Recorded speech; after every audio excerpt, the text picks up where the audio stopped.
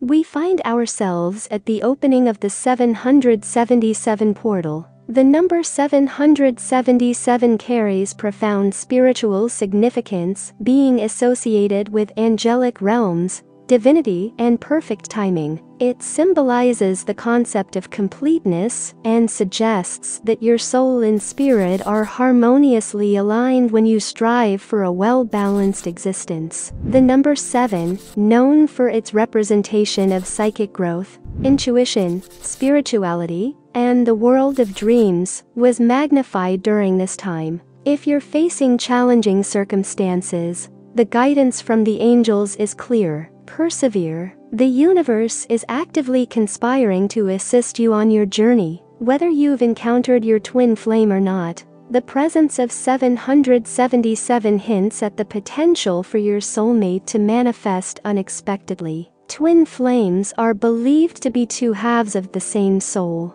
Even if your twin flame has turned away, Remember that you can ascend independently by severing karmic ties and continuing your path with faith and love. The universe will honor your choices. Have you ever heard of the Pleiadians? These benevolent beings have played a role in humanity's creation planting Lemurian quartz crystals across the globe. Lemurian quartz stores light codes and Akashic records. The ultimate message is clear. Love serves as the key to both unity and heaven. It is a dynamic energy that can guide your earthly existence. Within our DNA, there exist strands connected to various chakras, all tasked with illuminating our hearts. Unfortunately, Many have been ensnared by fear based religions. The choice is ours to awaken in this lifetime or remain in slumber. Now is the moment to release what no longer serves you and have faith in the unfolding journey. Toxic relationship patterns should be shed, making way for love,